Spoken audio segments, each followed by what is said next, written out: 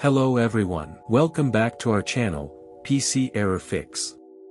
If you've encountered the infamous WoW Error 132 in World of Warcraft, we understand the frustration.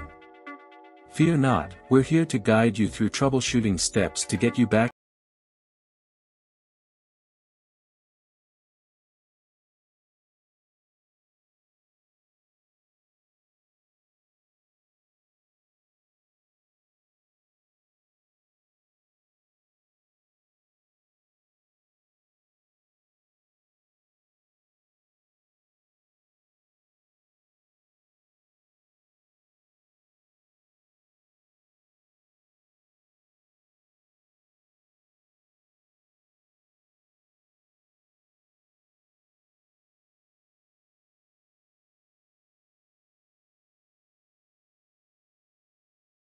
One, Scan and repair game files.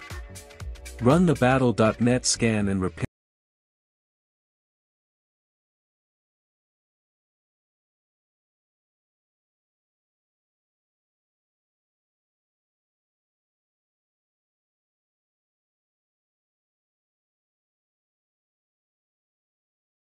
Finally, click on Begin Scan to start the scanning and repairing process.